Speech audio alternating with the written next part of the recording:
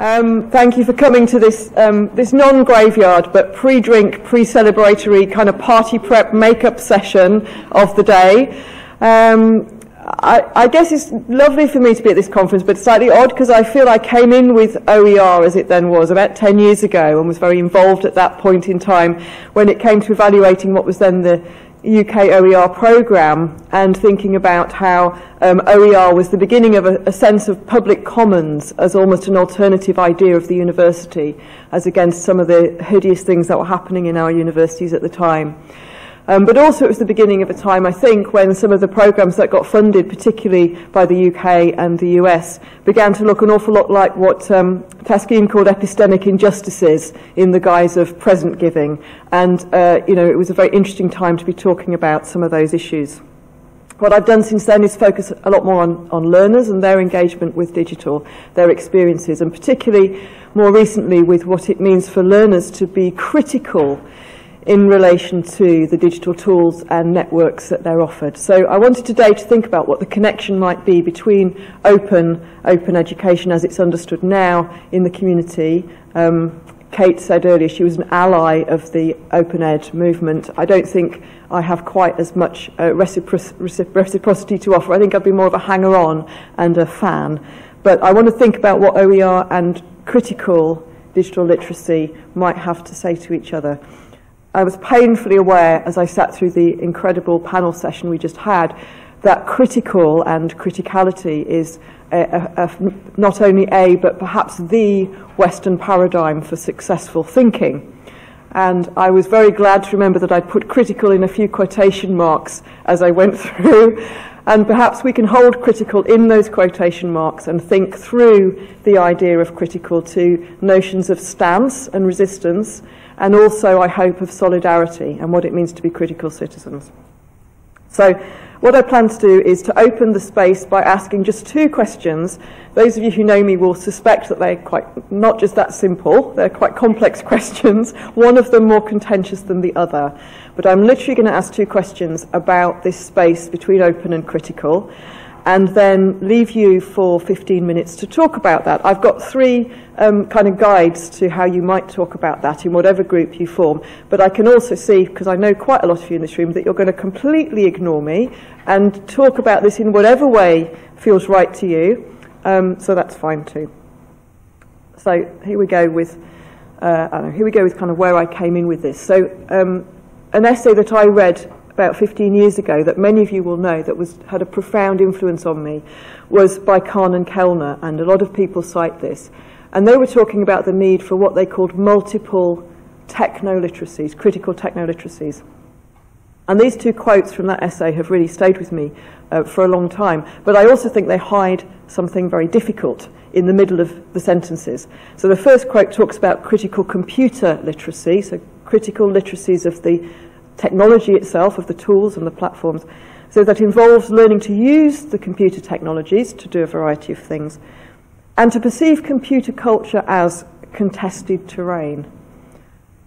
Quite a large space between those two things. Um, there's a comma between them, but I think actually there's a very large space in our pedagogic practice between supporting learning to do stuff with technology and seeing technology as contested and tools and networks and platforms as as, as a contested space. Similarly with media literacy, the idea that it's about teaching students to learn from media, to create with media, to use media materials, but also to become good citizens.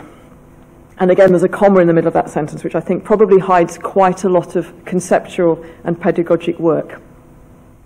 So, I'm going to ask two questions about uh, how we might bridge the comma in those two sentences and move on from critical as an individual mindset and facility and resource, what um, Caroline called earlier the exploratory mindset, towards a more collective understanding of how we might be, how we might be critical um, collectively. And the first sort of suggestion I'm going to make, which I think is the least controversial, is that if we are going to be open educators, we are going to demand that our learners are to some extent critically resourceful um, in some of those simple ways that we might talk about computer literacy and media literacy because at the very least, whatever kind of open learning it is, we're not going to close down at the start the issue of my pathway through my learning, when I do it, how I do it, the time and pacing of it. The question of how best shall I learn this is not going to be foreclosed by us as teachers. And I think if we're open educators in the sense that most of us here mean, there are a whole lot of other things we're also going to try not to foreclose on with our students. The question of the platform, the tool, and the interface you choose to engage with, the mode of engagement, the question of what activities you actually carry out as part of your learning, how you produce your learning outcomes, what those learning outcomes are, the question of which communities you engage with and bring into the wider network of learning. All of those we would want to not foreclose on at the beginning. So we're going to ask our learners right from the start to be making some critical judgments about what should I learn? What does this learning mean to me? Who am I as a learner? What kind of learner could I become? Things that in a closed classroom, as an educator, we would perhaps be walking people through hand in hand. So we're asking learners to be critical users of learning as kind of as product, critical navigators of the pathways through learning. But we might be asking, and I think we would want to be asking, that they should also be uh, or become or be supported to become critical subjects in the domain of learning and knowledge that we're introducing to them. So that's my first kind of contention about the connection between open and critical, that we're demanding that our learners be critical, and ideally we're supporting them in that journey as well. Then I think the more contentious demand, and I've heard it a lot today, and it's really exciting to hear it, but I also think we need to recognise it is contentious outside of this room, is that to be open educators, we must be critical in a much deeper, more socially situated way. We must be actually be critical pedagogues.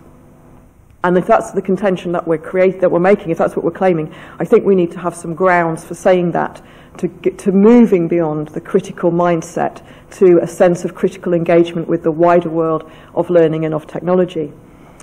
So, first of all, of necessity, I think that kind of pedagogic practice that tries to develop students as critical subjects that I just mentioned has to be challenging power and privilege in the space of the classroom, whatever the classroom means. It doesn't seem to me possible to do that without um, to give that power to students, to not foreclose for students on what their learning will be and who they might become, is to challenge already our power as pedagogues, necessarily.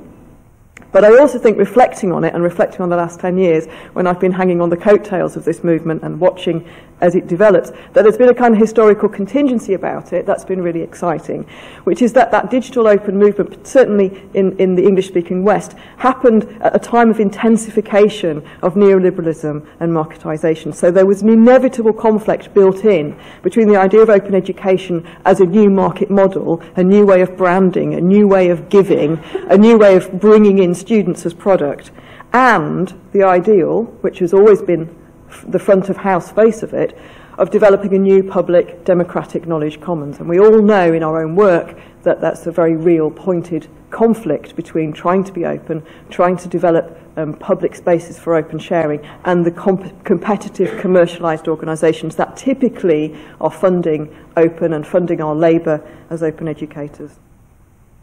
I think that the market models that in the, in the, Western, in the English-speaking Western economies that I'm more familiar with have tended to win out, or open education as a critical discourse has tended to lose out.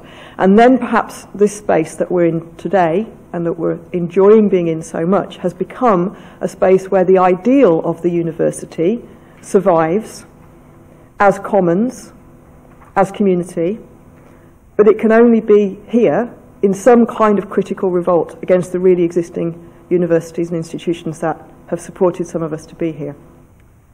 So I'm making two contentions about criticality, about individual mindset, and about engaging in a critical political space, and that the two are in some way bound up together in that comma between critical mindset and engaging as critical citizens, having something to say about this world in which we're trying to do education, um, that they might be bound up together in some quite intimate way. Now, I've opened the space, and as I said, I'm going to leave you now to talk about it and contribute about it, and hopefully um, there'll be room to hear from each little bubble a little bit. There is a uh, Padlet you can go to if you want to begin to address some of the questions. Um, I, I hope that if anyone's kind of following this, they'll go to the Padlet and do that. But if you're here in the room, I would recommend beginning with the people around you uh, because that's always a nice, enriching thing to do. So I'll give you the questions with kind of four, four five minute intervals so you can get your teeth into them. I fully expect you to have gone off, off, offline with me very quickly. That's fine. But I've got three questions so you can see them coming up. And the first one is, if we have this ambition for our learners to develop as, to develop as critical subjects, what would that look like? Or what does that look like? You know, when you're assessing that in your learners, what are you looking for?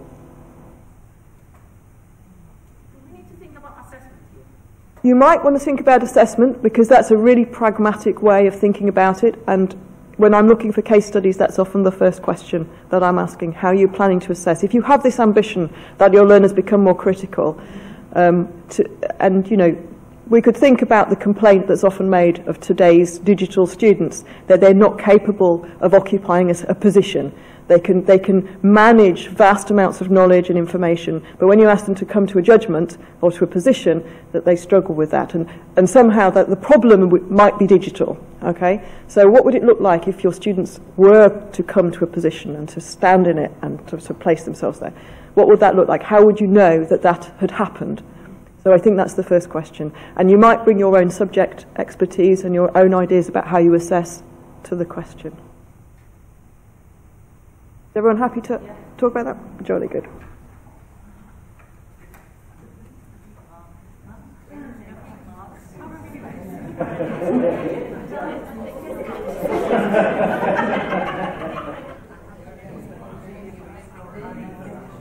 okay, I think I think I'm going to move us on, difficult though it is.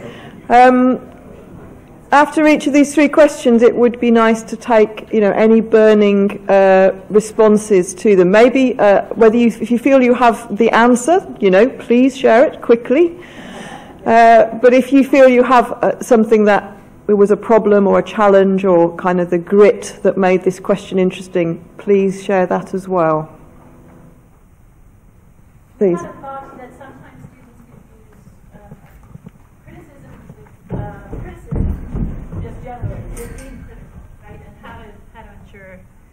How can we ensure that we're helping them to differentiate what those things are? We thought analytical was maybe a, you know a, a word that might help for, for, students to figure that out. Thank you. So yeah, the thought was that so students are invited to complain in the sense of you know all, all, the time, aren't they? And and not just in relation to their education, but in relation to you know things they find online. The digital world is full of feedback. I mean, that's the nature of it. So maybe some of it is to do with the criteria of judgment that we offer them and how we do that, which it may be, and Francis would, and I, it may be those criteria are very discipline specific, and that might be fine. It may be that there isn't one standard of critical judgment that works across the piece. Any other thoughts?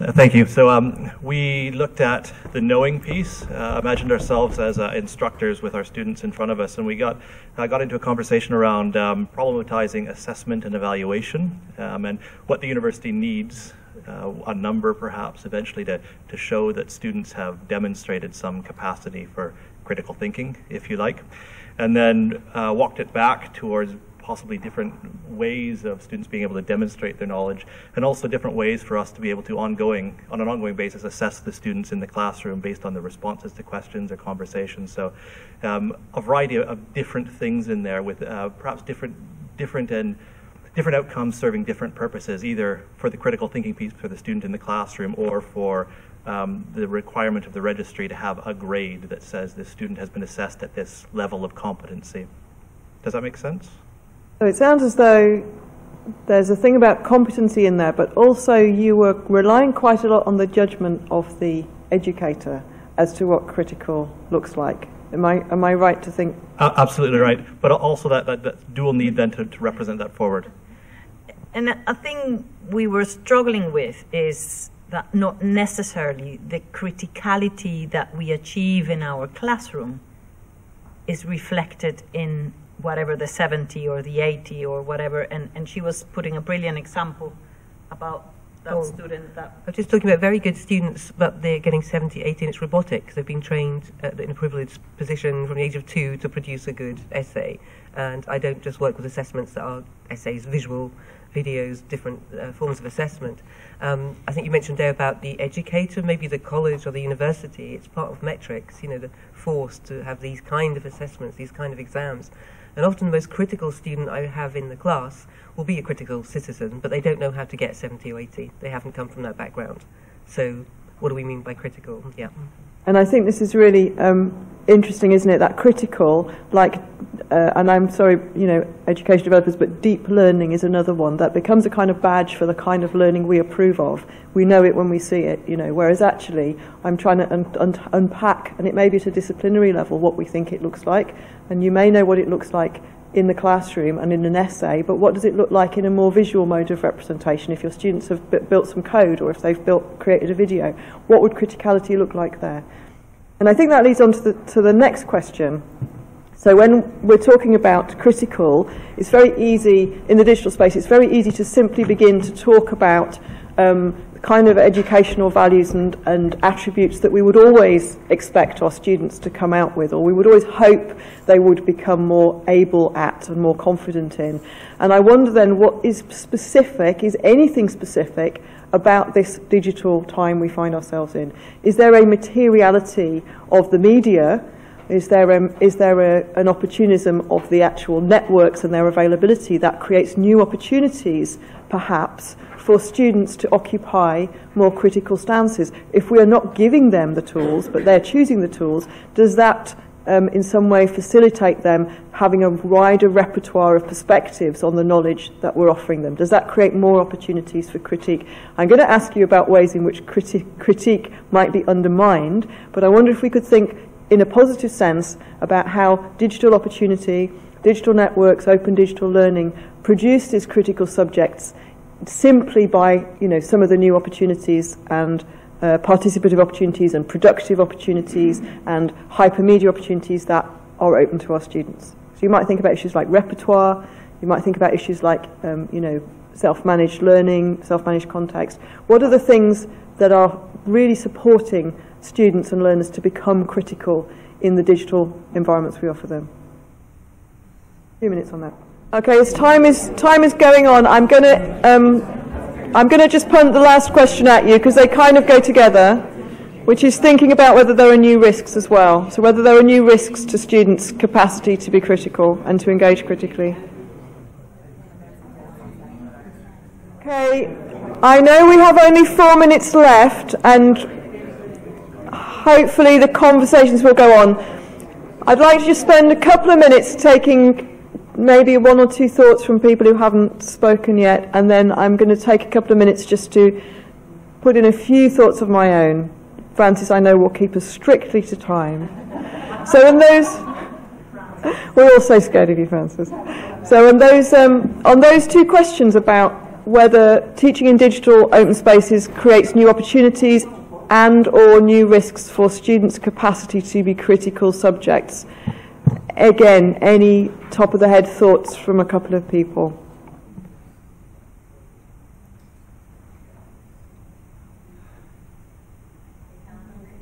Go for it, Sheila.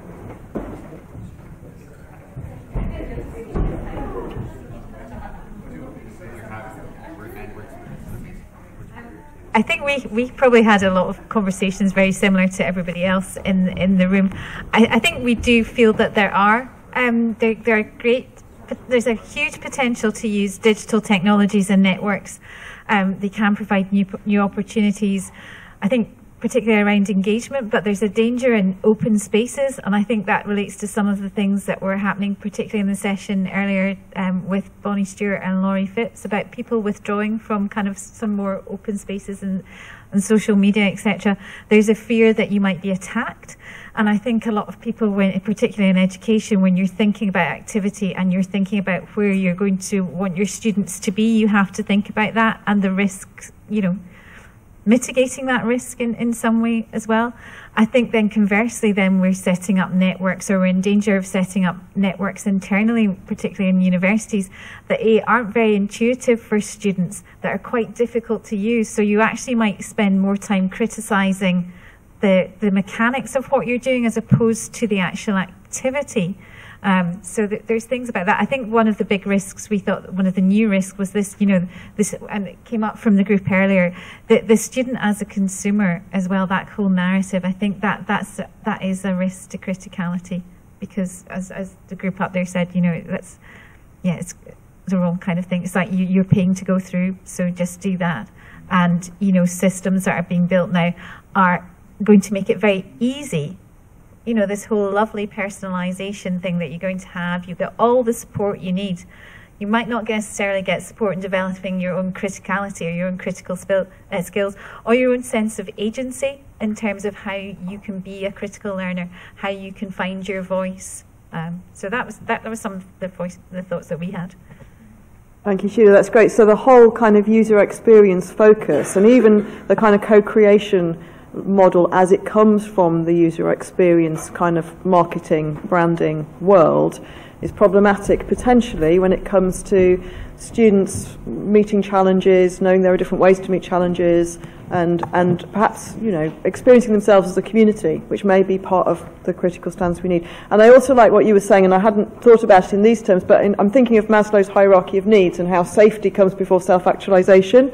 And of course, the experience of being safe in any space um, depends on other experiences you've had. Not all students will feel equally safe, will be equally able to self-actualize in, in apparently the same learning space. And so therefore we can um, reduce our capacity to develop students critically because we're not making them feel safe enough to do that. Yeah, I hear you, Francis. Okay. So I've got loads more stuff I could say, but I'm going to go to just one, uh, one slide in particular. Um, and this is a way that I've been starting to think about this space and this, this gap in the comma between uh, critical thinking as a kind of um, user resource, user experience, and what Barnett, Ron Barnett calls critical being as a kind of critical citizenship. And, and I started thinking this way when, when I read this rather wonderful review by um, Luci Pangrazio, which some of you may know, when she looked at some of the ways of thinking about digital and critical. And again, this probably corresponds a little bit to Maslow's hierarchy of needs, or possibly, you know, there might be some Bloom's taxonomy going on in here, but kind of down, down at this left-hand end, there's the critical user. So there's the student that is, you know, um, experiencing aspects of learning and responding to them and perhaps responding critically to them, thinking, is this right for me? Is this good for me? Is this how I want to learn? Is this piece of knowledge useful to me in the assessment task that I have set for me? Then if you move into a, a more active space, you have learners acting um, as practitioners of various kinds. They might be coders, they might be makers, they might be actually engaging with the repertoire of tools and techniques that digital makers have.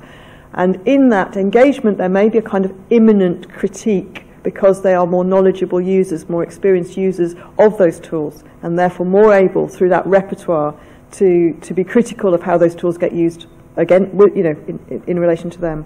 They might be practitioners in a more social sense, that they're participating actively in, in networks. And again, a lot of open pedagogies assume that there is an immanent form of critique in this, that if students participate enough, openly enough, in enough open networks, freely enough, then a kind of critique will emerge because there will be a variety of perspectives and viewpoints offered to them and a variety of modes of responding and participating.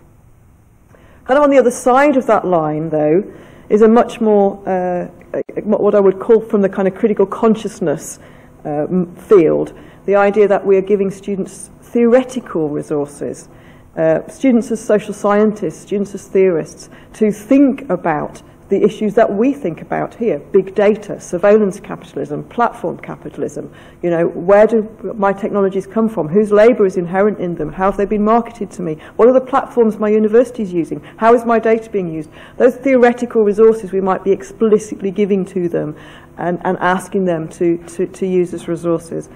Uh, and those are quite different. Those are pulling in quite different directions, and different disciplines will have different balances of those.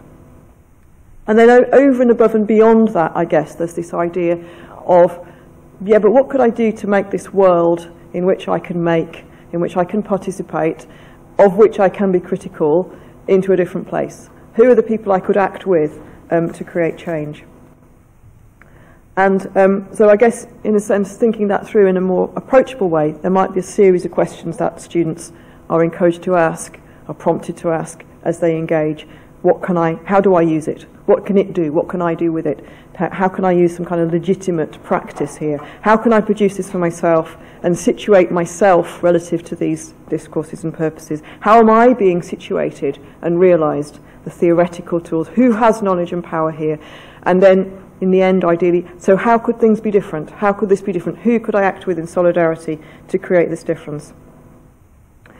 Um, I really wanted to appreciate, uh, please go and put some ideas in there for me. I really want to appreciate that many people have come before, and as I said in an earlier session, I'm particularly interested uh, a third of a century ago that feminists were thinking about how to teach in a very similar way uh, with very similar questions and issues. And I wanted to finish with this very old quote, but I think fantastically contemporary, um, from a special issue of the Women's Studies Quarterly on feminist pedagogy.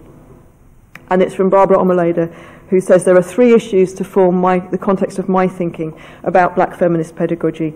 Clarification of the source and use of power in the classroom, which we've talked about today.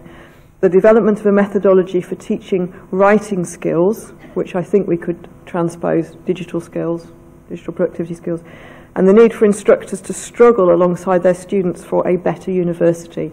And I think the better university is perhaps what we're creating here in this space rather than those compromised institutions that are supporting us to be here. So thank you. I hope there'll be some more thinking as a result of that.